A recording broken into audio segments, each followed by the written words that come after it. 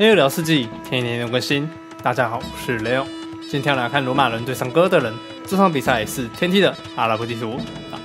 先来介绍一下罗马人这个文明呢，最大的特色就是它步兵科技呢，每点一点就是加二的一个加成效果，就是双倍效果。点一防就等于二防，点二防等于加四防啊，非常多的防御力哦。那罗马人也是之前我们在看这个法兰克人之伏兵攻城塔的影片里啊，他是一位非常开搞型的选手，我记得他是叫 Survivalist 啊，应该是这样念啊。那罗马人呢，他的这个玩法比较偏向于步兵跟骑兵玩法。那他的军团兵呢，跟这个百夫长都会点一下金冠技术，增加这个生产速度。而且点完金冠之后呢，还会有一一小段的蓄气伤害，其实效果是蛮厉害的。那罗马人的前期的采集跟修理跟建造速度加五和胜这个效果，其实初期不是很明显了，但是到了大后期哦，罗马人经济哦其实还是不错的哦。那罗马人的弩炮造价呢也是非常便宜的。那么先来看一下哥德人，那哥德人最大的特色哦，就是他的步兵单位非常便宜哦，而且吃这些大象啊或是野味哦，吃的时间更久一点哦，这个效果可以让他多大概增加快一百肉左右。那让他前期哦，即使被搞到了，也不会那么容易直接爆炸。那哥德人呢，他前期呢也可以瞬间秒织布哦，所以他这边没有点织布就怪怪的啊，他可能忘记哥德有这个能力啊。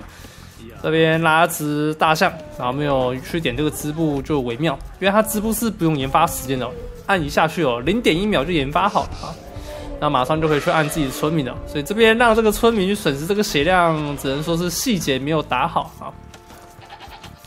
好，那先来看一下地图的部分。那地图的部分，主金在左边，上方有黄金石头在左上角，右边有石头。哦，看起来这张地图不会太到非常差，而且这个黄金可以开城镇中心哦，还可以，而是偏后方的位置啊。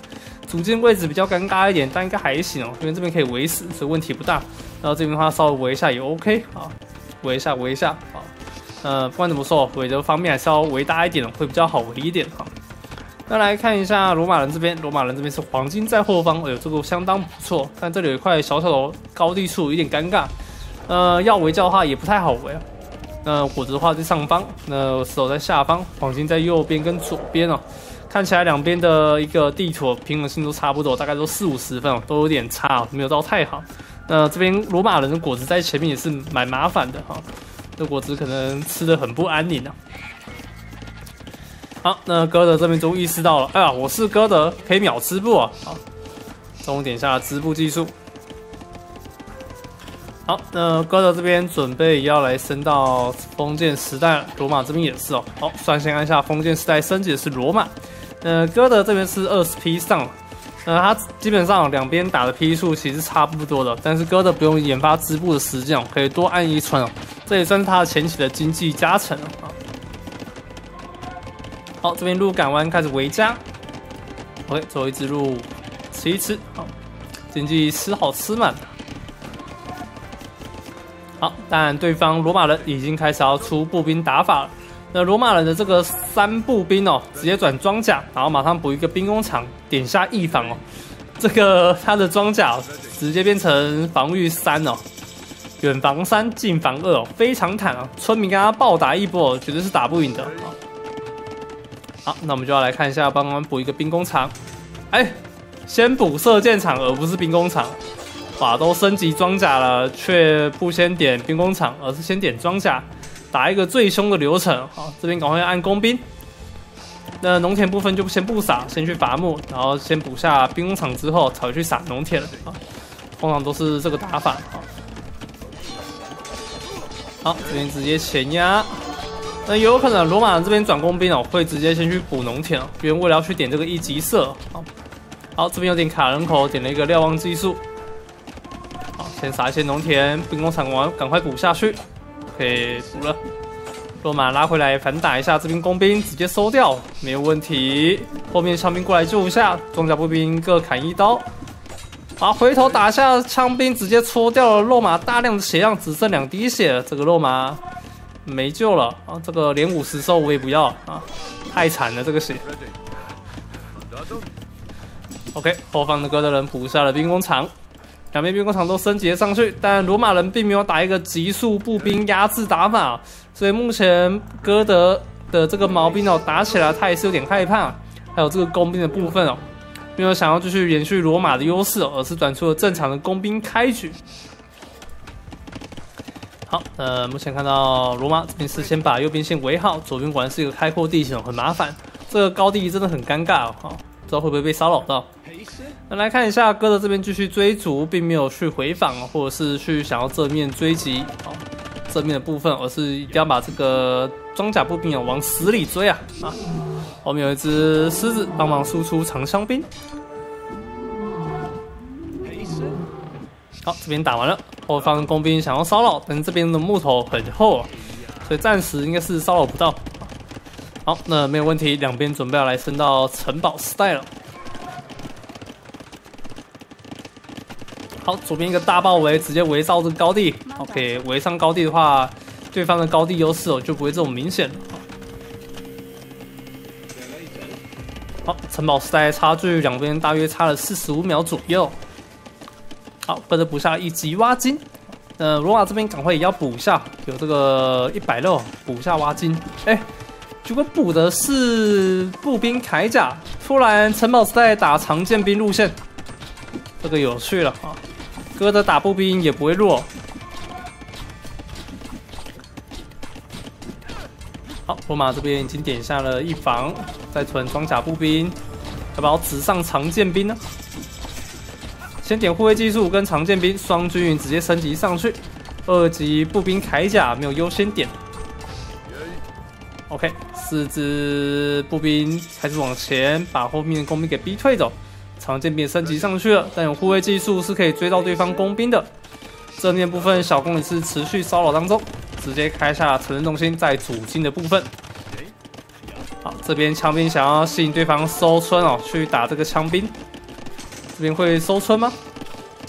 好，直接不理。工兵继续往前，长剑兵继续追逐这边弩兵的部分。弩兵升级上去，二级射也点好。这边罗马人要赶快转出二级步兵铠甲。OK，马上转出来了。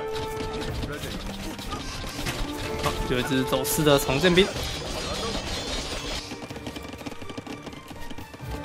好，往右开了一个新的城镇中心。好，二级步兵铠甲一好，来看一下这边的坦度啊，来到了双防五啊，非常坦，弩兵射下只有两滴血啊，这坦度非常夸张。城堡时代的罗马人哦，这个步兵系哦，非常的恐怖。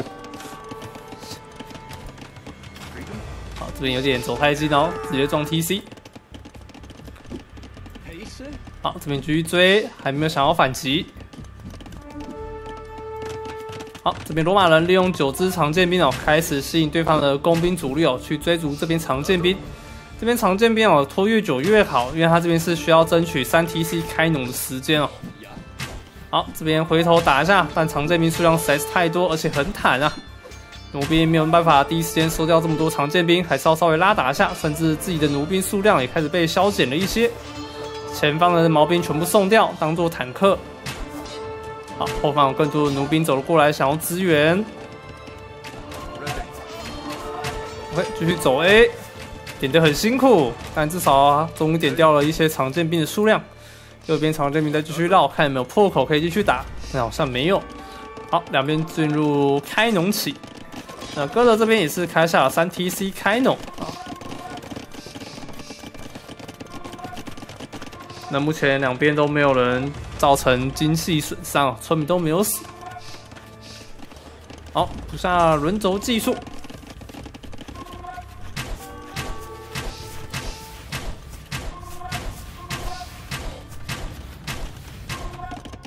好，长剑兵开始往前冲，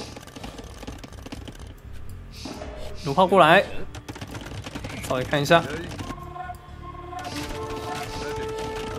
好，再次往前，这是后方老头招响了一支。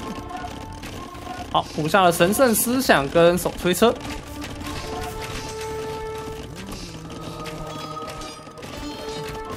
好，这边弩炮也过来。罗马奴号非常便宜，黄金三十造价而已啊！串烧一下，先打老头，但老头已经用神圣思想，需要再两发。哇，尴尬，剩下一发就可以打掉了，说差一点点了。好，那这边是哥德人的工兵哦，现在优势状态哦。呃，目前哥德人其实不要爆出太多的工兵哦，赶快去撒出更多农田哦，会更好一点。用这些工兵哦去撑到帝王时代，我觉得是一个不错的选择。好，用工兵射掉这边弩兵。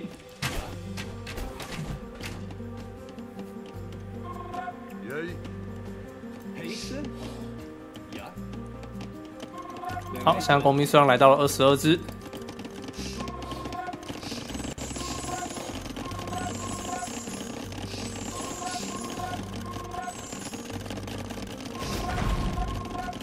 时候，哥德人点一下帝王时代升级，罗马大军已经准备好弩炮跟长剑兵了。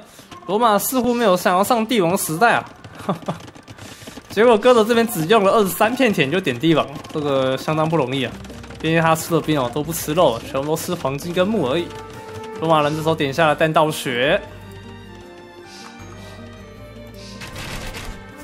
好，这个高地哥德想要拿下来的意思。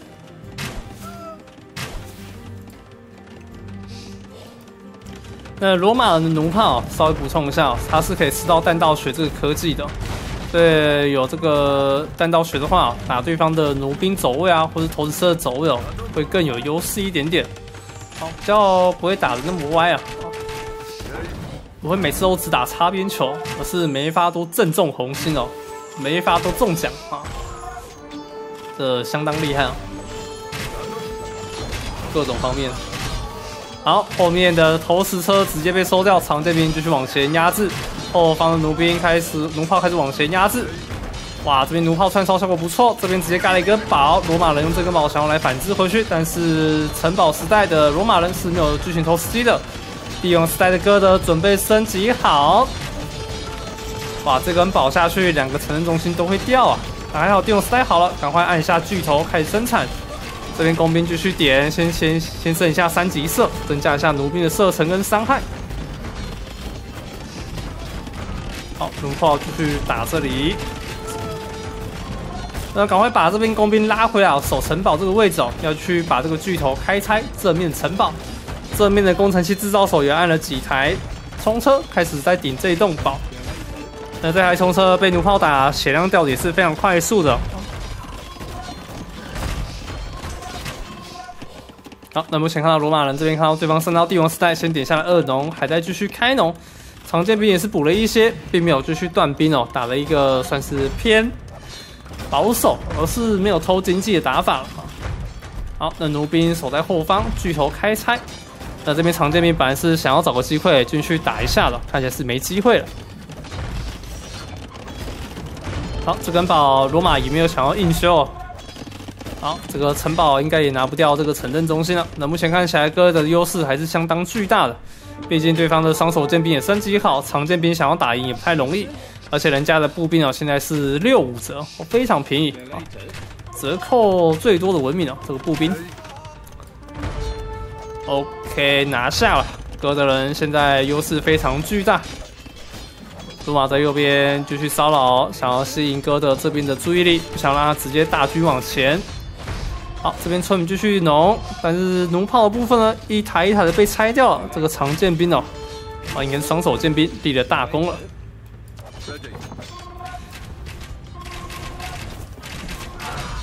好，这边的话我继续反击回去。这个串这个串烧打的伤害是蛮高的。好，那以哥的这个文明哦，也是相当害怕弩炮这个单位的。所以哥德暂时要打回去弩炮的话，可能要考虑要不要转一些肉马啊，或者是打一些哥德卫队哦，哦，移动速度比较快一点会比较好哦。那哥德也是有大肉马的文明哦，虽然没有三级马凯，但是要解工程器来说，哥德大肉马还是相当方便的。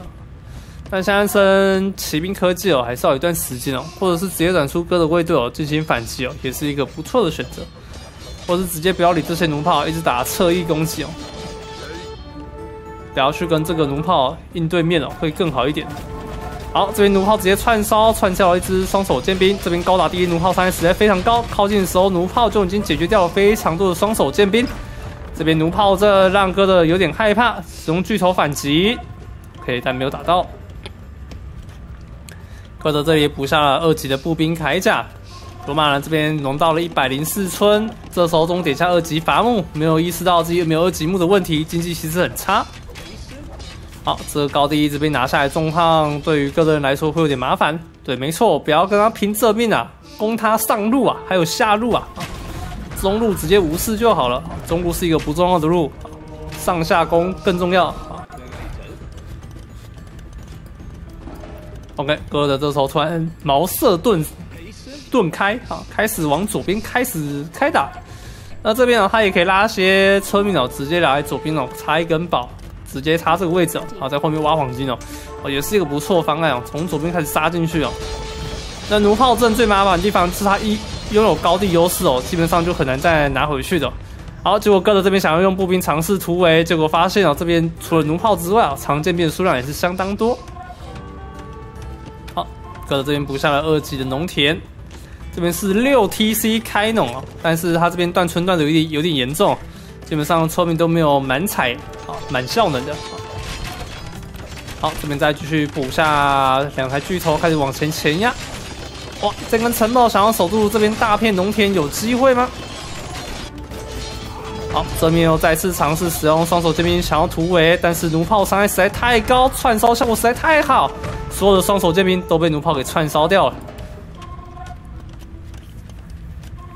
好，帝王时代还有差三百喽。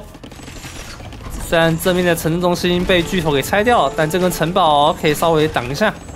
OK，终于买卖一下，点下了帝王时代。好，这边冲车开始往前，弩炮也往前。说的这边正面损失掉了非常多的双手尖兵。OK，终于点下了剑勇了。哇，直接串烧村民，有弹道学的弩炮，真的是蛮厉害的。好，开始在进行攻击当中。这一波城中心应该可以拿下。后方巨头准备开拆。好，弩炮开始反击回去，串烧效果非常棒。这一台弩炮立了大功，只要这里没有弩兵的话，就可以用长剑兵压制回去后方的巨头喽。好，上方有一些剑兵勇士准备冲进来，升级好。要直接手撕城镇中心吗？还是要先砍村民？好，决定要来手撕城镇中心了。但是后方有弩炮过来防守，这一波串烧还是达到了一些伤害。弩炮开始陆陆续续补了过来，这面城镇中心果然被顶掉。后方弩炮继续深入后方哥德的城镇中心。左边部分使用弩炮加上长剑兵哦，顺利守下了这一根城堡。哇，在石头挖完的时候，刚好把这个城堡守住了。好，但正面的剑兵勇士还是顺利的拆掉了这里的城镇中心。下方这里有非常多的村民在移动，黄剑兵也在开始防守当中。弩炮赶快补过来，继续协防。我方这根城堡做到了非常多的事情，已经拿到了十二杀、十三杀，哇，这个伤害越来越高哦。好，当然上方家里的问题还是没有解决，这一坨弩炮还有长剑兵跟冲车打的分推战术打的非常漂亮。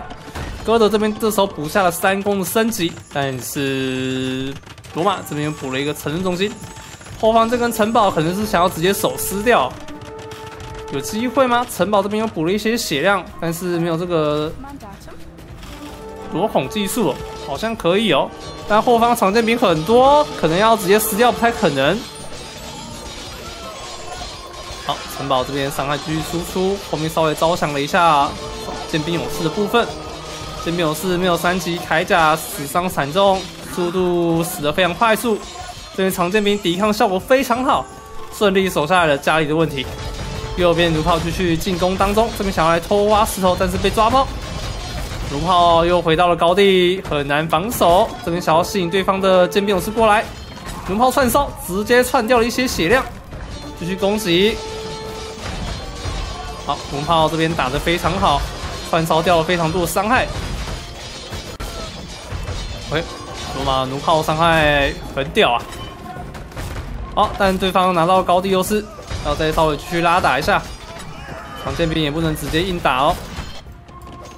好，正面更多的剑兵勇士补了过来。这时候罗马人离帝王时代还有五秒钟的时间，上方弩炮争取时间已经争取够多了，而且拆掉很多建筑物，算是不错的一个结果了。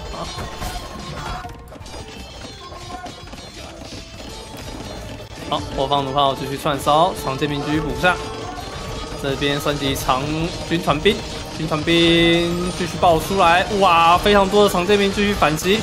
但现在对方拥有的这个剑兵勇士的一个伤害加成，打得非常快速。但后方的这个刺激可能会被拿下，剑兵勇士砍剑族三很高，但是硬生生的被村民给修了回来。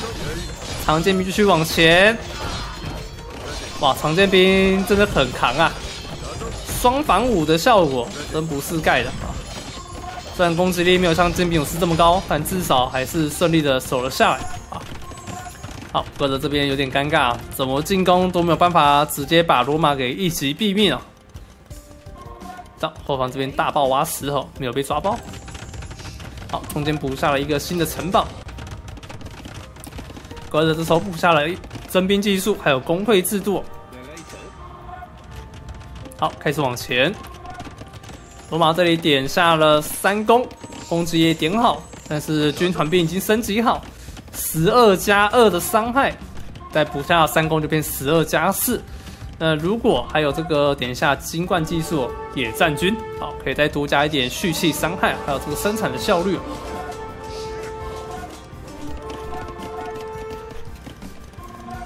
让它变成另类的哥德人，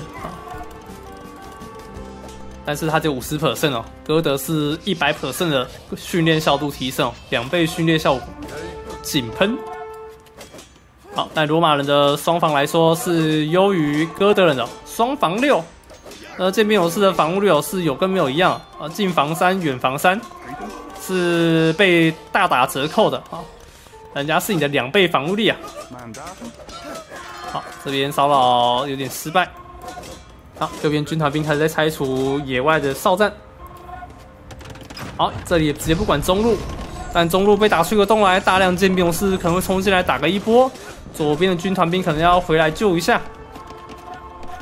好，军团兵赶快回防，正面的村民赶快拉走。右边军团兵想要破口进去，但是后方有一根城堡。好，一进去就遇到城堡往后拉。我看到城中心可能要直接手撕。后方的弩炮串烧效果非常舒服，而且有弹道学打得非常精准。这边看到弩炮只能选择撤退。但是目前罗马人并没有任何的攻城方式。好，再次拉到了城堡下方，想要跟军团兵决一死战。但右方的军团兵已经骚扰到了非常多的村民，这边村民直接损失惨重。后方的过来自己的军营也是直接被打爆，手撕城中心没有问题，再次拿下。好，罗马人终于点下野战军了。看来是要打算打一大堆军团长啊，这个军团兵。那军团兵跟百夫长的选择，这个时候打百夫长的话，转升级的这个转折需要非常多的黄金哦。那如果自己是打军团兵的话，黄金消耗就没有那么凶猛，而且生产效率哦，其实也是蛮优秀的。好，这边补下更多的军营。哎，这边补军营是要继续报军团兵的意思了。哦，不可能转枪兵嘛，对不对？罗马人转枪兵不太有意思，但哥德这边是有火枪的。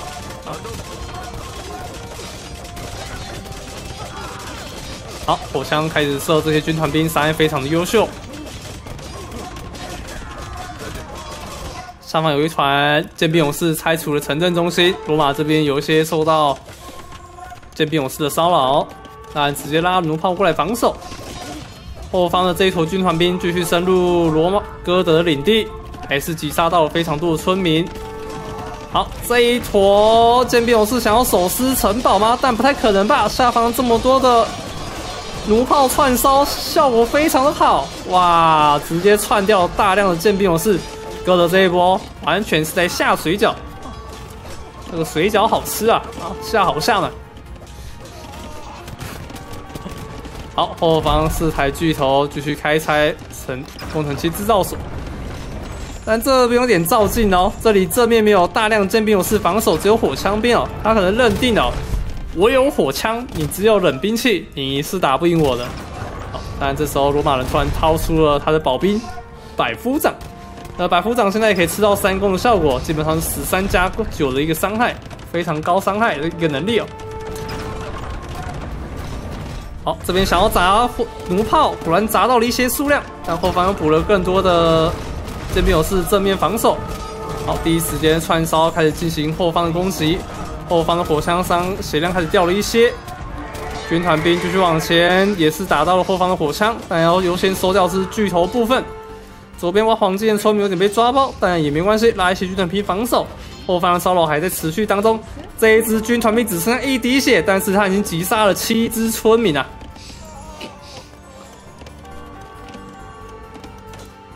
好，右方这边直接偷挖对方的黄金，他表示罗马表示这边的黄金由我来接管了。哇，这边黄金越挖越多，凡哥的人这边黄金只剩下一个人在挖，正面这块金一直没有继续补回来哦，我一直在对敌人的黄金念念不忘，去打这一块左边的黄金。好，这时候百夫长数量开始慢慢变多，来到八字的数量喽。那这个资源量是不是要点金冠？又是要点这个精锐升级吗？精锐百夫长加军团兵的打法，好像挺厉害的啊！但这个黄金消耗非常凶哦。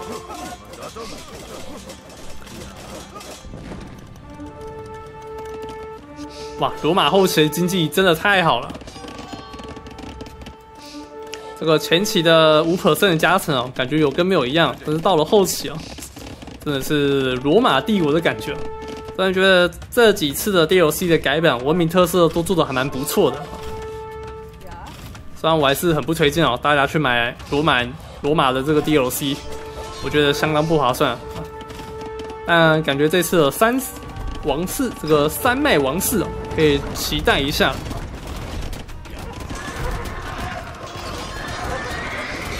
高地城堡伤害非常高，而且这里马凯完全没有升，根本扛不住剑士的伤害。后方火枪兵继续拉打，击杀掉非常多军团兵。这一波的攻防战看起来罗马有点在学哥的下水饺了，但是还好他后方还有更多的军团兵在进行骚扰当中。那哥德这边也把刚刚损失掉村民哦也去补了回来。后方黄金似乎忘记了，一直被挖的状况。好，正面这波拉打看起来是哥德用火枪拿到了一些优势，但正面的三巨头还在继续无情开拆。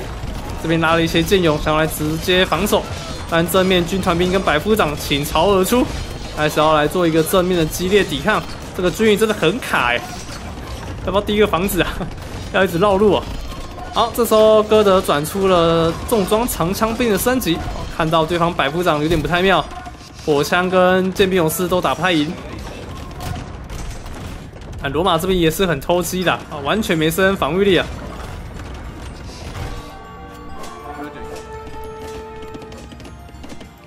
好，后方这块黄金真的是被遗忘了，还在挖。好，正面城堡被罗马拿了下来，后方的火枪继续往前，但是没有再拉，哎，赶快拉，对，赶快拉火枪。继续甩枪很重要，但后方的火炮可能会被抓掉。这个火炮很危险，哎呀，直接被抓掉了，很亏啊！哥德这边转出了长枪兵，想要来反制对方的百夫长，但是你反制了百夫长，却不能反制对方军团兵啊，这是一个很尴尬的一个事情。好，花了大量肉跟黄金，点下了骑兵的升级。罗马点下战矛兵，还有跑速、工兵铠甲。而不是骑兵铠甲，挺微妙的。你要再退，再退三巨头就没喽。好，这边军团兵直接上前应战，对付对方的枪兵，但对方的枪兵完全没有办法跟军团兵比，军团兵直接正面击破，以少击多，打爆了大量的枪兵。这时候，哥德突然意识到机动性单位的重要性，开始转出了骑兵的铠甲。哇，右边挖石头还被抓包，巨头也被拆掉，这一波哥的又是损失惨重，上面赶快直接围了起来，哎呦，围的速度非常快啊！好，左边的枪兵继续往上走，这边继续施加压力。